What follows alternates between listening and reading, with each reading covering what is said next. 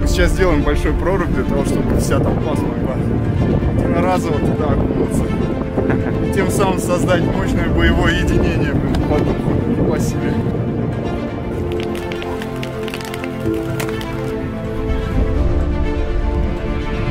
4 января.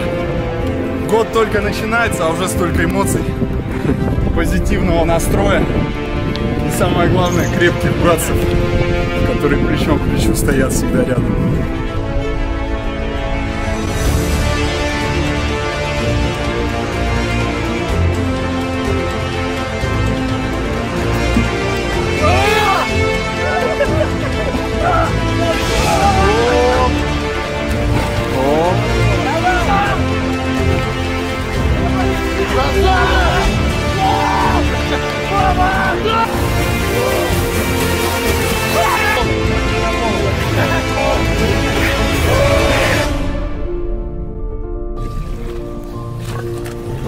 Закаляйтесь.